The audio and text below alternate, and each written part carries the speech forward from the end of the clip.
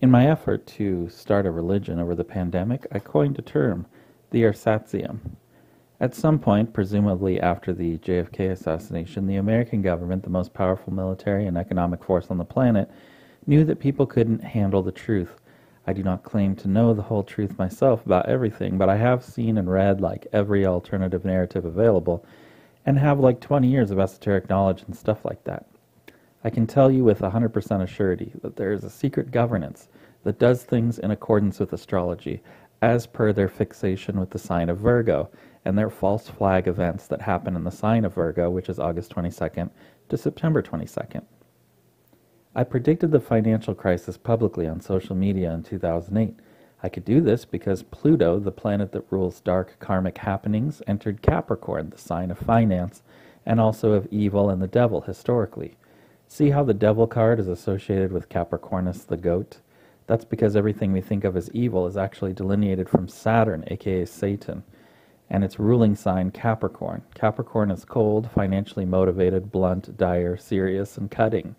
Ergo, when Capricorn enters Pluto, there's going to be a wicked shitstorm that will be like death metal meets Black Monday.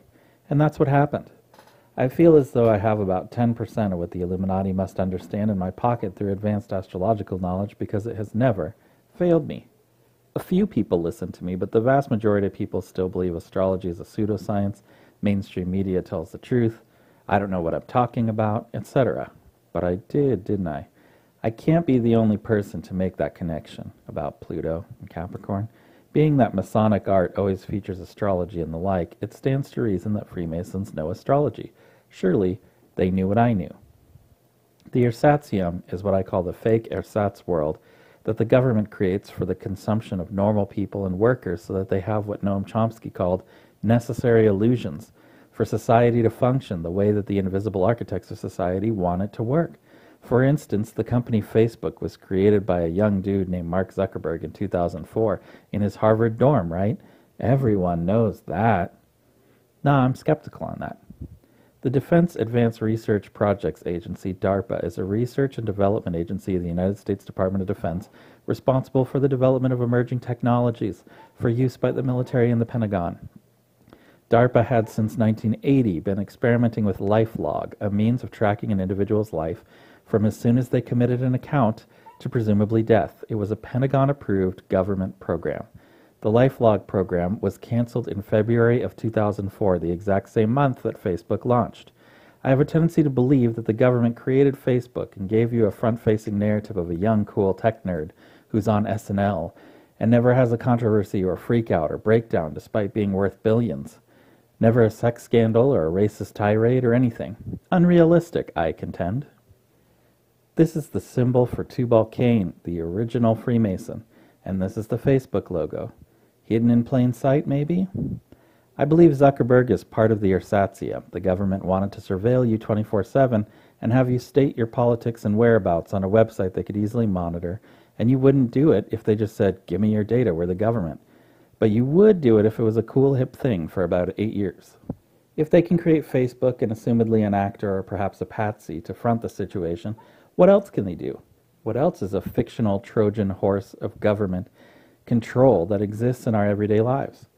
I know quite well they did a similar thing with COVID. Without getting into it, forced medical vaccinations for a disease you have a 1% chance of getting reeks of PSYOP. And if you don't think so, you're in bad need of history lesson. Trump calls CNN and the like fake news, and he's right about that one.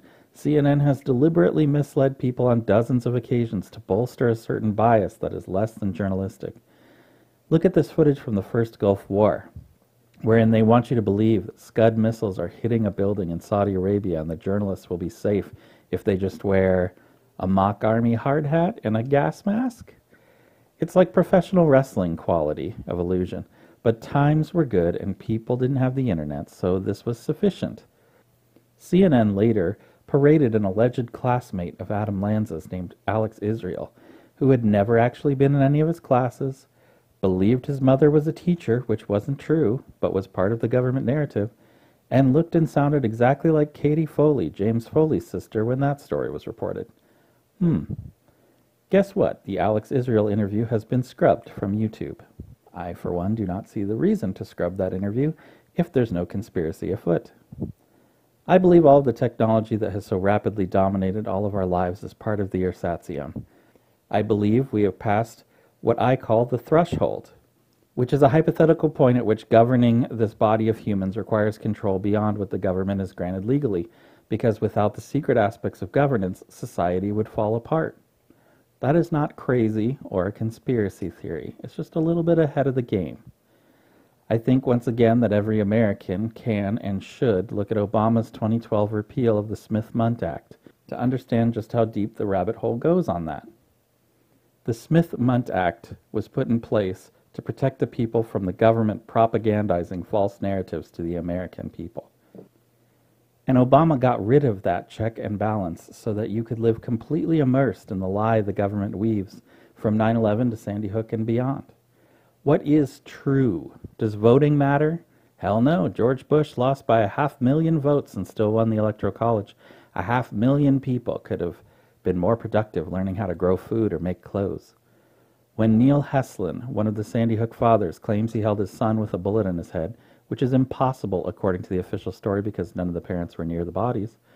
Then that video is scrubbed from YouTube, but I have already put it on another video, so I have it. I feel I have touched the ersatzium. Then, last year, Neil Heslin went on television to directly address the Sandy Hook deniers. I lost my son. I buried my son. I held my son with a bullet hole through his head. That is not so you believe that guy has an erroneous memory of his own son's death? If it is fake, and it is, how can you vote for or support a president that lied about such an egregious thing as child murder? You will, because the ersatzium is in full effect. For now, 50 years from now, 100 years from now, you'll look like a fucking idiot. There's no term for the world the government is building to atrophy your arguments against its total takeover of your lives and thoughts and headspace, but I made one the ersatzium.